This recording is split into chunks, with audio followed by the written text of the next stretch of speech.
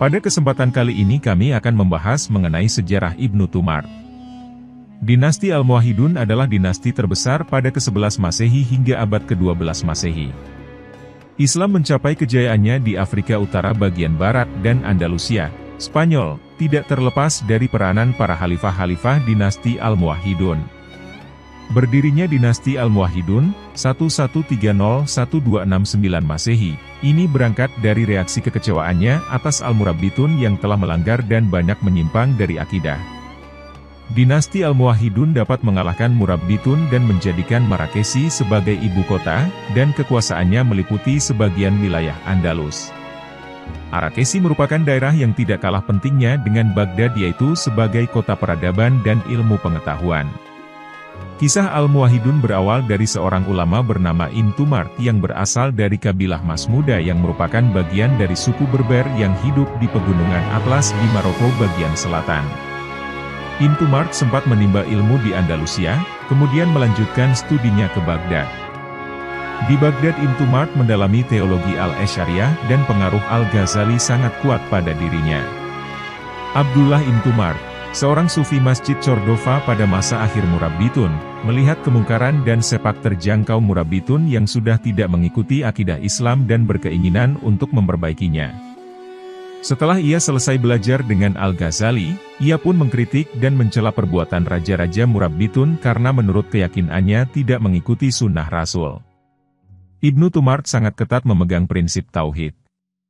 Karena itu ia memilih nama gerakannya, Al-Muwahidun yang arti harfiahnya adalah pengikut Tauhid. Setelah kembali dari Baghdad, ceramah-ceramahnya dinilai kontroversial karena mengkritisi banyak hal dari kehidupan masyarakat yang sudah dijalaninya turun-temurun.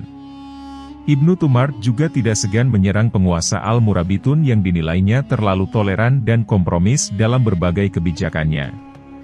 Akibat dari sikap radikalnya, Ibnu Tumar kemudian terusir dari komunitasnya di Bejaya. Ia kemudian mendirikan tenda di luar kota, di suatu tempat bernama Melala. Di tempat pengasingannya ini, Intumart didatangi oleh Al-Basir yang di kemudian hari menjadi ahli strateginya, dan ABD Al-Myumin Al-Gumi yang di kemudian hari menjadi penerusnya.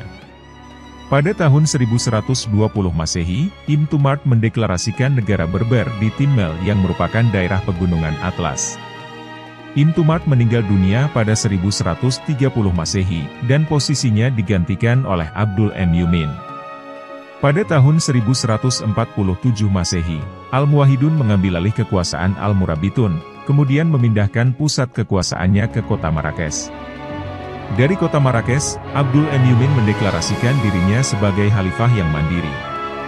Dengan kata lain, ia melepaskan diri dari khilafah di Baghdad, sekaligus membedakannya dari Al-Murabitun yang sebelumnya menempatkan dinastinya sebagai bagian dari khilafah di Baghdad. Pada tahun 1159 Masehi, Al-Muwahidun sudah menguasai seluruh wilayah bekas kekuasaan Al-Murabitun di wilayah Afrika Barat Laut, bahkan memperluasnya ke timur, melingkupi seluruh wilayah Afrika Utara sampai ke perbatasan Mesir. Meskipun Intumart adalah pencetus dinasti Al-Muwahidun namun ia tidak pernah menjabat sebagai sultan dan justru yang terkenal adalah ABD. Al-Emamun yang awalnya sebagai panglima dan memimpin selama 33 tahun dan berhasil membawa kemajuan dengan pesat. Terima kasih sudah mengikuti video-video kami, jangan lupa share, like dan subscribe agar bisa selalu mengikuti update video dari kami.